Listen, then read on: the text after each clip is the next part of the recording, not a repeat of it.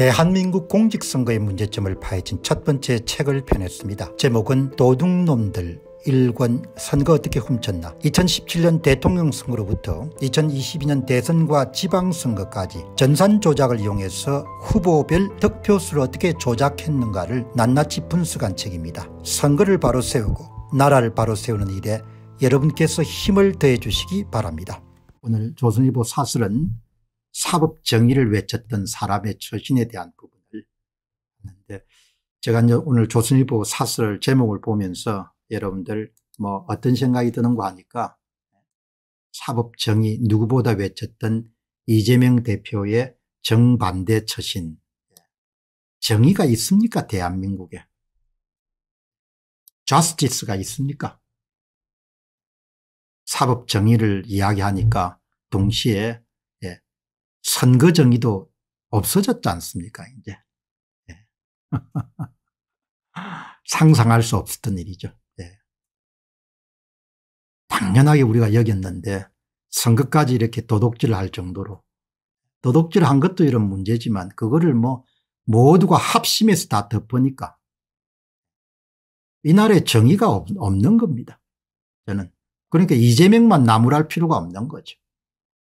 뭐 지금 이런 시대 상황을 미뤄보게 되면은 뭐 조국 전 법무부 장관을 좀 억울하게 당한 면이 없지 않는 겁니다. 예. 뭐 조국 전 법무부 장관의 죄는 이런 죄에 비하면은 선거정의나 사법정의에 비하게 되면은 그야말로 세 발에 핀 겁니다. 예. 그 간단한 거죠. 예. 정의가 없는데 국가를 어떻게 이끌고 나갈 겁니까? 수많은 사람들이 이해가 이름 상충하고 충돌한 것이 국가인데 대통령도 여러분들 도덕질 해가지고 여러분들 대통령이 되고 국회의원도 도덕질 해가지고 여러분들 국회의원이 되는데 구청장은 또 물론이고 예? 그런데 무슨 정의가 있습니까 그러니까 이런 말도 좀 나는 허황된 겁니다. 사법정의 누구보다 외쳤던 이재명 대표의 정반대 처신 예.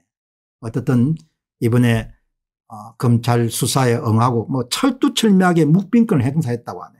12시간 그냥 묵빈권을 행사하기도 쉽지가 않을 건데 뭐 이 조력자인 변호인 측의 도움을 받아가지고 여기 보면 12시간 넘게 진행된 조사 과정에서 사실상 묵빈권을 행사했다. 말 안 했다는 거 아닙니까? 그러니까 검찰이 이제 2차 소환을 또 하는 거죠. 그것도 응하지 않겠다는 거 아닙니까? 아, 정말 내가 볼 때는 예. 역대 정치인들이 비리에 연루된 경우도 있었지만 이렇게 수사가 시작되면 대부분 직을 내려놓았지 않습니까? 왜? 자기가 속하고 있는 당에 누를 끼칠 수 있기 때문에.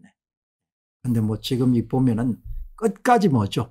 당을 방패막이로 삼아 가지고 이걸 끌고 가는 거 아닙니까? 그래서 오늘 참 조선일보의 사법정의 뭐 이런 용어를 보면서 대한민국의 정의가 어딨노? 예. 국민들은 뭐죠 조금만 죄를 범해도 다 잡아넣고 하지만 그물들은 뭐죠 법 앞에 평등 자체도 없는 겁니다. 사법정의 뭐 선거정의 다 내가 볼 때는 뭐죠 예.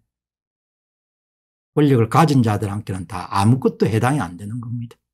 그 이러니 뭐 나라가 어떻게 영이 쓰고 어떻게 여러분들 규율이 쓰고 그렇게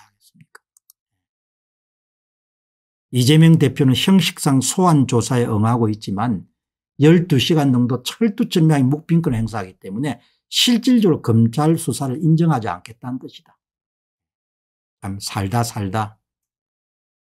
오늘 이 사설에 마음에 드는 것은 지금 이재명 당대표에 대한 수사 내용 가운데 한 건도 뭐죠? 윤석열 정부 들어와가 추가된 게 없지 않습니까?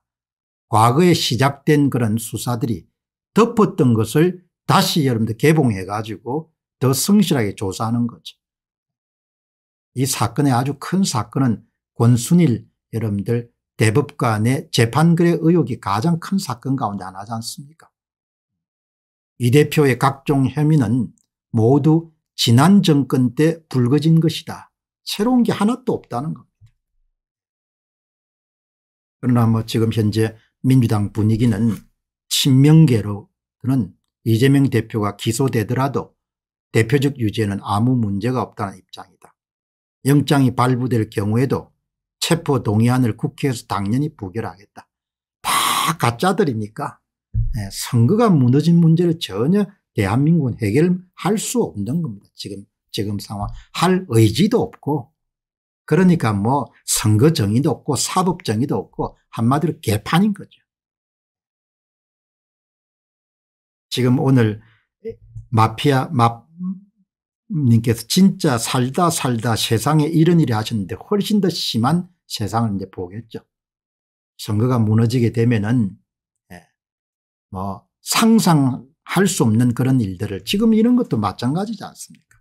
선거가 무너져 가지고 여의도를 다 가짜들이 차지하고 있으니까 맨날 뭐죠 아침 방송이나 신문마다 가짜들이 일하는 그 소리를 듣고 살아야 되니까 국민들이 얼마나 스트레스를 받겠습니까 대한민국 공직선거의 문제점을 파헤친 첫 번째 책을 펴냈습니다. 제목은 도둑놈들 1권 선거 어떻게 훔쳤나 2017년 대통령 선거로부터 2022년 대선과 지방선거까지 전산 조작을 이용해서 후보별 득표수를 어떻게 조작했는가를 낱낱이 분석한 책입니다. 선거를 바로 세우고 나라를 바로 세우는 일에 여러분께서 힘을 더해 주시기 바랍니다.